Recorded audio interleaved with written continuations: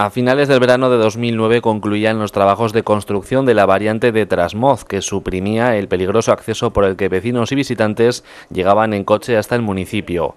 El presupuesto de 70.000 euros únicamente llegó para acometer estos 400 metros de vía, por lo que quedó pendiente el último tramo que conduce hasta el mismo casco urbano de Trasmoz. La solución podría llegar en breve. Bueno, aquí cuando se, ejecutó la obra de la variante esta de Trasmoz, pues bueno, ya se nos dijo por parte de Diputación que en ese momento pues no había presupuesto para poder arreglar el acceso hasta el municipio, igual que se hizo en Litago, Litónico y San Martín. Y entonces pues tenemos el compromiso de Diputación Provincial de que nos va a arreglar lo que es el tramo que es de donde estamos ahora hasta la puerta del ayuntamiento, que es lo que en sí es carretera provincial. Y entonces estamos esperando a, bueno, a que vengan las máquinas y arreglen este acceso. La idea que llevan es hacerlo con dos carriles ya e intentar evitar la curva de entrada el acceso se encuentra muy deteriorado, con baches y apenas espacio para el tránsito de dos vehículos en cada sentido. Y lo que se va a intentar hacer es, por parte de Diputación, es hacer dos carriles y con un andador de metro y medio a, a cada lado, pues bueno, para que por lo menos cuando subas y bajes, pues tengas cada uno tu carril y se evitan problemas.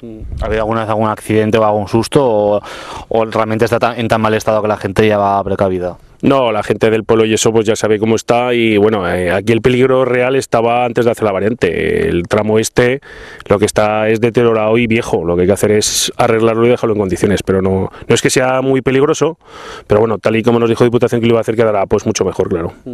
¿Y, qué inversión se haría falta o no lo cuantificado? Pues no sabemos nada porque esto lo ejecuta directamente Diputación Provincial y ellos hacen la obra y ellos pagan, o sea que nosotros ahí no tenemos nada que ver, igual que cuando hicieron la variante, que lo único que cometió el ayuntamiento fue la compra de los terrenos que cogía por acelerar los plazos, porque si no se hacía entonces, pues no sabemos cuándo se hubiera hecho.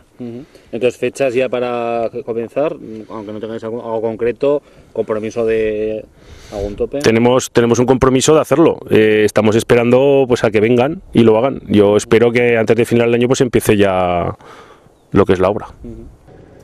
El consistorio de Trasmoz pretende además pedir a la Diputación Provincial de Zaragoza la desafección de este tramo de carretera con el fin de ampliar el casco urbano. Una vez que esté arreglado, lo que hará el Ayuntamiento será pedir una desafectación de parte de la carretera, puesto que si en el futuro queremos ampliar el casco urbano y luego plan general, pues bueno, teniendo una, carretera de Diputación Provincial, pues nos, nos corta mucho el proyecto. Entonces, lo que tenemos ahora con Diputación es que una vez que esté arreglado todo el acceso, pues bueno, pedir una cesión, que es lo que se hará.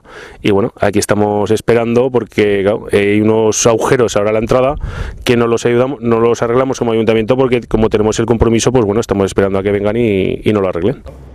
La mayor parte de las carreteras que discurren por la comarca del Moncayo pertenecen a la red provincial. El año pasado también se reforzó el firme en la CV 610 entre Vera y Tarazona con una inversión de más de un millón de euros. El proyecto incluía también las mejoras en los accesos a Litago, Lituénigo y San Martín.